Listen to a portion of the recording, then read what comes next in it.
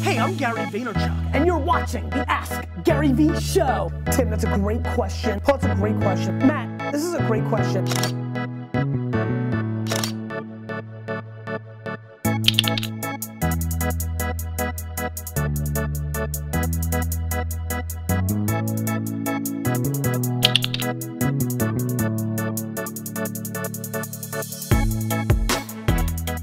On this episode, I talk about fantasy baseball, Instagram makeup artists, and what do people really want out of social media. You ask questions, and I answer them. This is the Ask Gary Vee Show.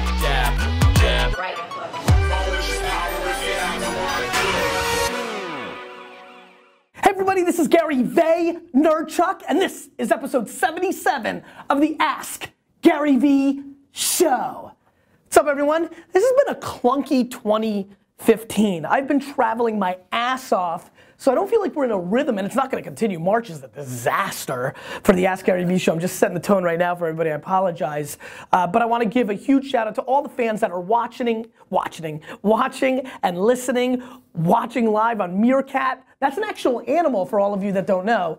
Um, you know, I appreciate all of you. I know that when shows are not consistent, one of the great things I learned in 2006, 7, 8 was Wine Library was winning because it was Monday, Tuesday, Wednesday, Thursday, Friday, and it was every day, five days a week for years because I was always at the store, never vacationing, and that helped it. This show doesn't have that luxury, though we have modern technology getting pinged when things are on and things of that nature.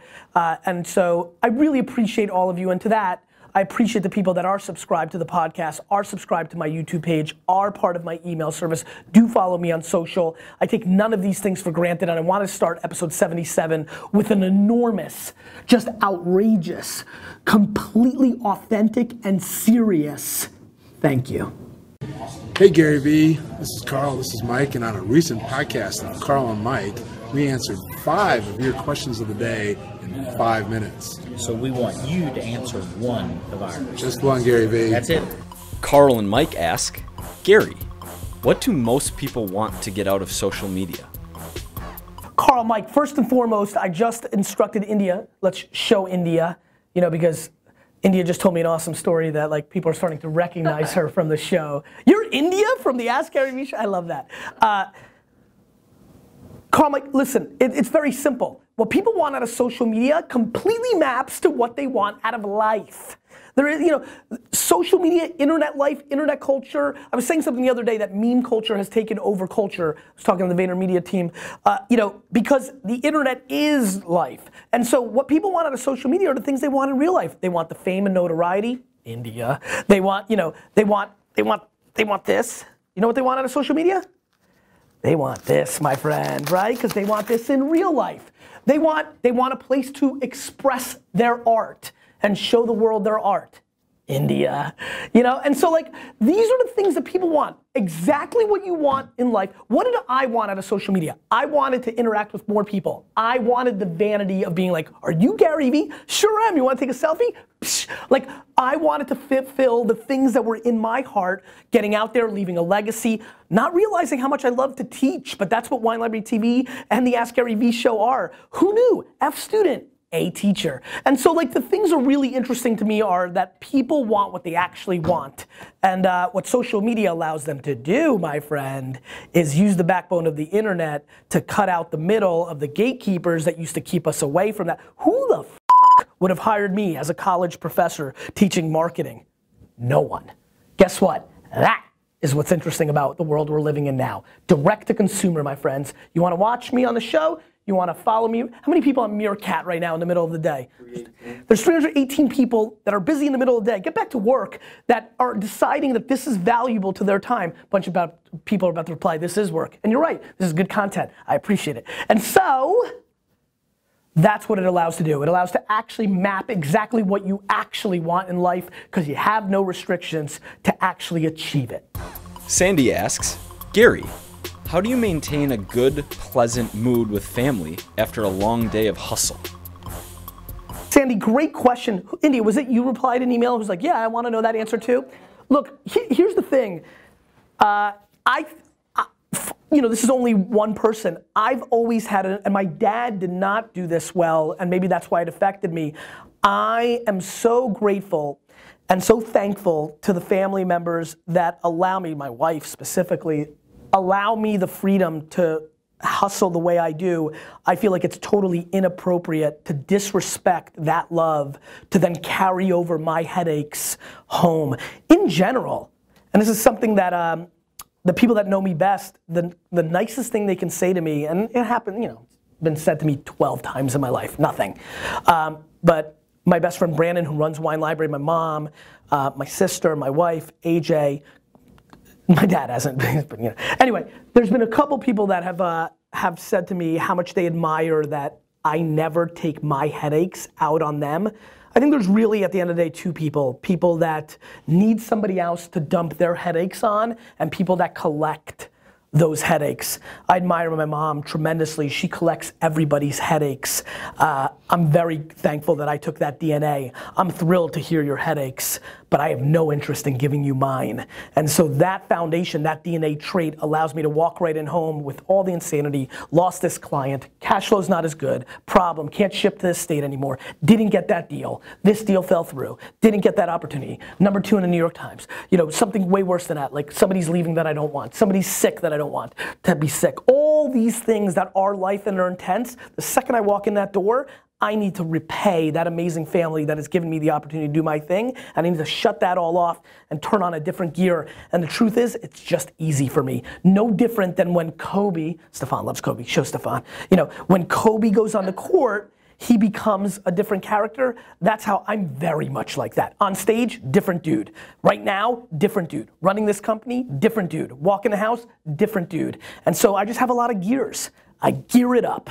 Nia Bresson from Naya Bresson Makeup on Instagram, and I'm a 10 year old makeup artist, and I just have one simple question. I post looks on Instagram, and people ask me to like their pictures in exchange they like my pictures, and I was just wondering how you would handle that. Nia, first of all, adore the hustle, crushed that I wasn't lucky like you and wasn't born during the internet era. Do you know how much fun these two would have mixing up videos of me talking trash as a 12 year old baseball card dealer? We could have had an amazing narrative. I'm pissed. And watching you talk about your, your, your background in this short little video, including the fact that you said I'm a makeup artist on Instagram, right? That has been for a lot of people, that, that's a little moment in there that I want everybody to wrap their head around. Not on YouTube, on Instagram Instagram, the mediums continue to change. The experts in those mediums that move first and best will always win, a la what I wrote in Crush It, oh, I don't know, six years ago, coming true. Nia is, soon Crush It's gonna be older than the people asking questions on this show. Nia is a real life version of that dream come true for me, so I appreciate you for that, Nia. Uh, Oh, I like what you're doing there, Stefan. Stefan, by the way, is trying to take a picture of the screen, taking, I mean, it's so goddamn meta over here. If, you, if it's podcasters, I know a lot of you love listening, but this is an episode to watch just to see what meta Stefan is up to. Um, Nia, the answer is I'm not a big fan of that. It doesn't feel authentic. You like my post, I like your post. There's something about the karma and the energy of that kind of tactic that I think doesn't really work. And so, what I would recommend you to do is be a good Samaritan and a good community of Instagram fashion world user, meaning I would spend an hour of the day going through all the people who are actually putting out content that you actually do like and heart that up and take the 10 to 20% of people that then find you because of that and then the 10% of that 10%, 1% that authentically want to give you love back and there's something bound in that authenticity that is so much greater than the scale of the growth hacking or the black hat growth hacking that that is that I don't think brings you as much value as you may think. So darling, if you're willing to listen to me, I think you go about it the highbrow way. But the way to get results and the way I got results on Twitter was you actually got to go out and give some love. You have to take an hour of your time and give some love. And so the first thing I would do is watch this video, then go directly to your parents and find out if you can go to sleep an hour later each night so that you can actually execute this. Amber asks, Gary, how do you motivate teams of remote workers without a payment incentive? So far, positivity and hustle are not producing results. I think communication is key, but I'm not sure how to improve it. Are exactly right. And there's several things here that are a problem and that we need to address. Amber, number one, communication is always key. You don't know how to address it because you don't want to address it, my darling, because it's very easy to address communication. You create the scenario for communication.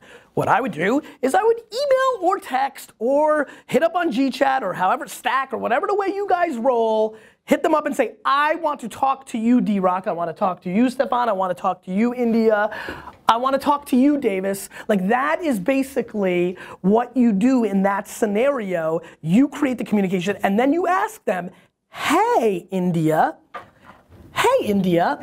You're not executing to the level that I'm hoping, but I'm gonna blame that on me. What can I do for you to make you execute better? That works. And so that's what you need to do. One on one scalable. If you have one employee, two employees, you know what scares me? And you can leave this in the comments. What scares me is how many employees are we talking about? Because I'm trying to do it for 500. And I have a funny feeling you're not talking about 500. So this is on you.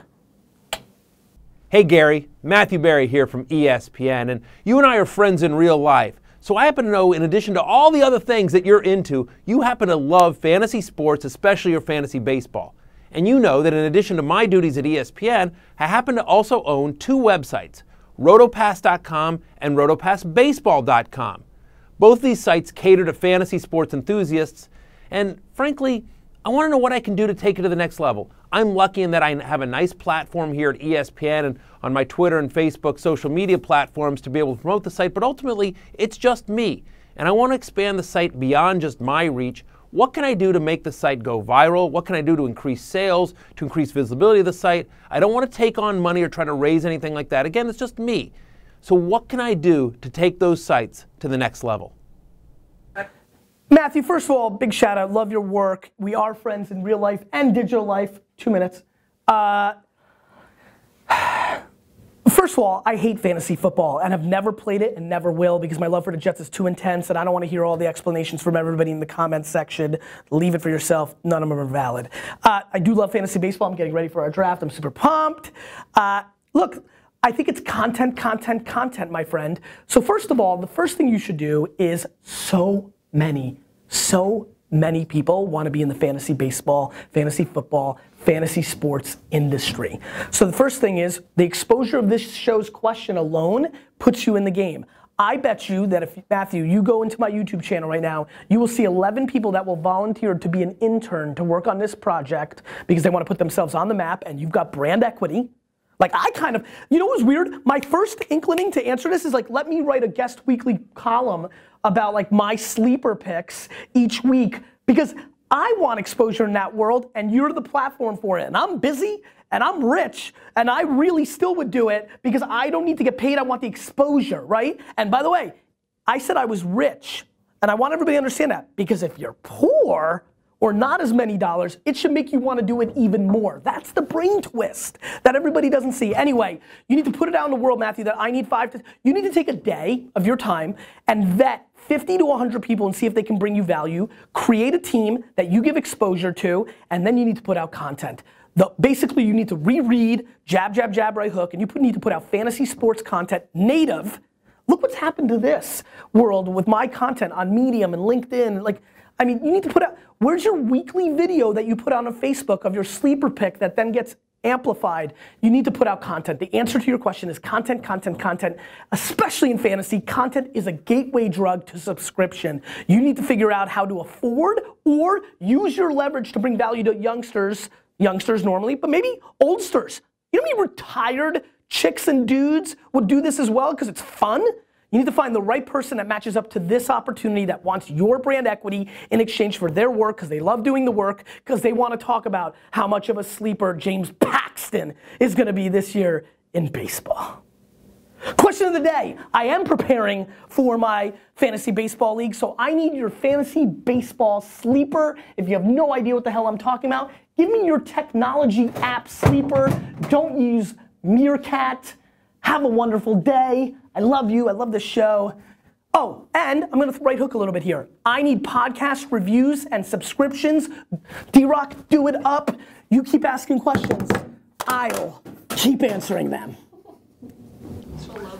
Of course, she's like, Mom, bedtime was nine. Now can I make it ten? Gary, you told. I mean, because I'm, I'm going. Let's go. Let's move. Matt, give me a look. What?